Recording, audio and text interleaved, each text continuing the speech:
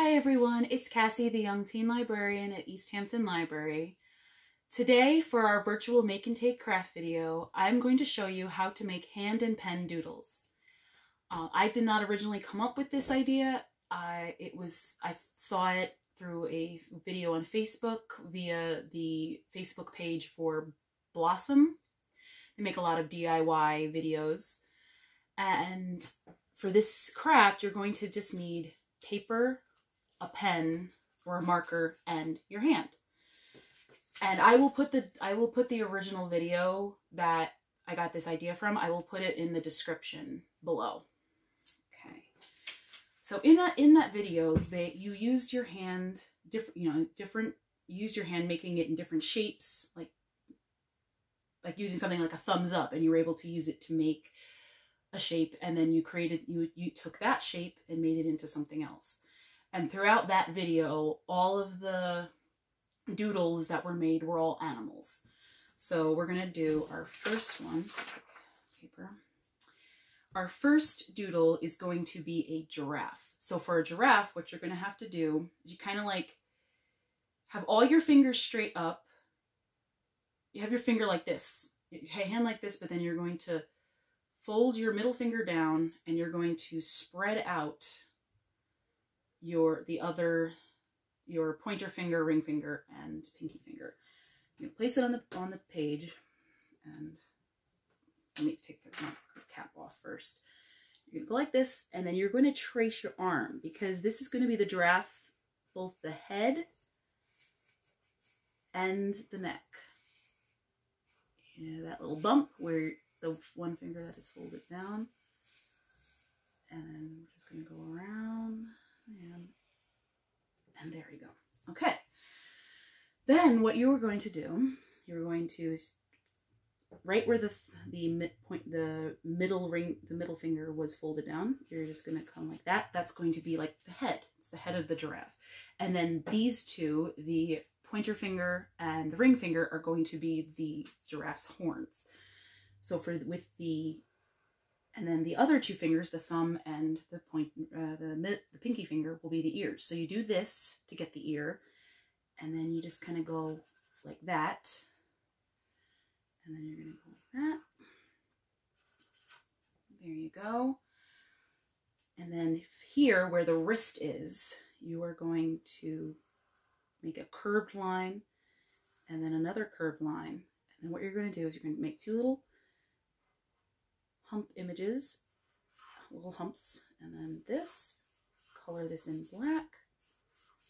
That is the snout of the giraffe. And then we are going to take, and we're gonna, I'm gonna make this a girl giraffe.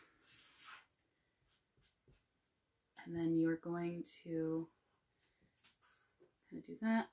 You're gonna make a big circle within that section and then fill the rest in with black.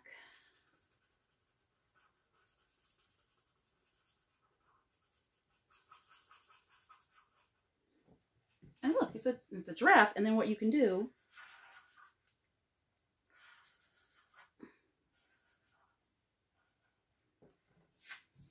There you go. There's your giraffe. You have now made a giraffe using using your hand as the template and then just adding to it. So that is our first one as a draft. And you could, um, if you feel so inclined, you could color it in. You could use you could use other fine point markers or ultra fine point markers, which are the, the tinier, very fine tip to make it. But to cover most of this surface area, you're going to want a fine point marker. It would take forever with the other type. So just for sake of showing. Okay, so you can see, I got marker on my hands. It'll wash off, and it should wash off pretty easily. We're going to make two others. We're going to make a snake, and we're going to make a snail. So for our snake, you're going to make a rock-on symbol. So we know this is a rock-on symbol. And this, the thumb is going to be the head of the snake, and the pinky finger is going to be the tip of the snake. So we kind of have to come at it from a sideways thing. So you're going to hump over each of the fingers. All right, so you end up with that. What you're then going to do you're going to make more humps because you want, so with the humps of the things, you're going to make humps on the other side so that you can then connect them and it will look like a snake that is coiled on itself. So then you kind of just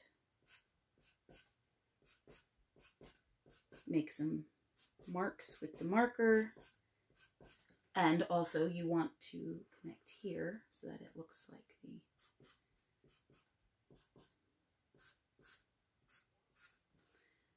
Then we can just make him a little goofy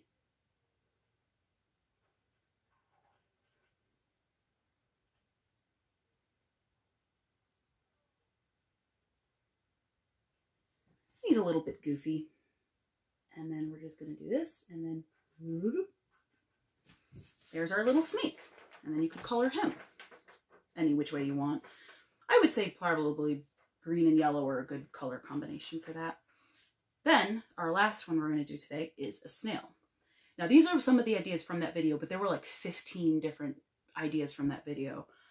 And it was just, it was cool to see how all the different ways in which you could just use your hand to make different shapes and then transform that shape into something else.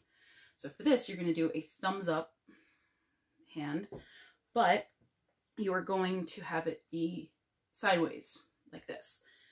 Then we're going to go make a couple of humps. All right. Okay, so we have this. What we are then going to do from this side of the hand, so on this side, we are then going to, we're going to mark here, first off. That is going to be the shell of the snail. So we would take, we would make lines from each of the humps of the fingers in the symbol, in this symbol.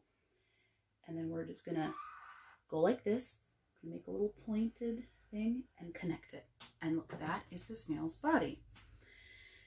And then, as we know, like snails, they're always depicted with those like, with the eyes that stick up. We're going to make a little smile for this snail.